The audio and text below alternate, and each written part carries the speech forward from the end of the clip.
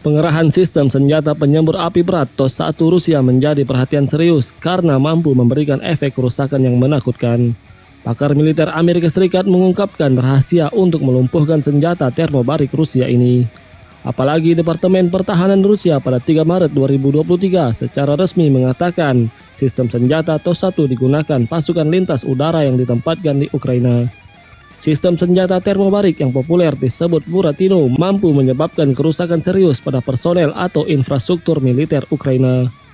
Pakar militer Amerika Serikat David Hemling yang dikutip Newsweek dan Eurasian Times mengatakan hanya ada satu cara melumpuhkan sistem senjata TOS-1. Harus segera ditemukan posisinya dan dihancurkan jauh sebelum mencapai zona perang Ukraina. Rusia menyebutkan sistem senjata penyembur api berat yang digunakan pasukan lintas udara merupakan varian terbaru, yaitu TOS-1A Solsenpek. Sistem TOS-1 dan TOS-1A Rusia menggunakan proyektil dengan hulu ledak termobarik. Saat dinyalakan, ledakan menggunakan oksigen di sekitarnya untuk menyebabkan ledakan suhu tinggi. Ledakan ini menciptakan ruang hampa yang sangat menghancurkan dan menyebabkan kematian personel militer akibat kerusakan signifikan pada organ dalam dan luka bakar kilat. Menurut seorang ahli, senjata TOS-1A sangat berbahaya karena muatan ledakan awal meledak saat mengenai target. Kemudian wadah bahan bakar menyebar dengan oksigen di sekitarnya dan menghancurkan semua yang ada di sekitarnya.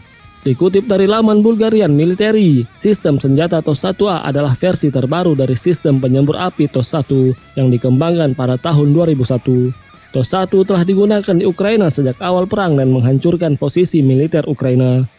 TOS-1A adalah sistem penyembur api self-propelled menggunakan sasis tangki T-72 yang dioperasikan tiga awak.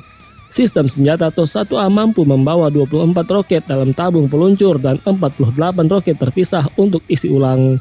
Jangkauan tembak TOS-1A adalah 400 meter hingga maksimum 6000 meter. Hal yang menarik dari sistem ini adalah kemampuannya meluncurkan beberapa roket per detik. Rudal yang ditembakkan tidak terarah, tetapi mesin tambahan dalam desainnya memungkinkan peningkatan jangkauan. Kecepatan maksimum roket yang ditembakkan sekitar 60 km per jam.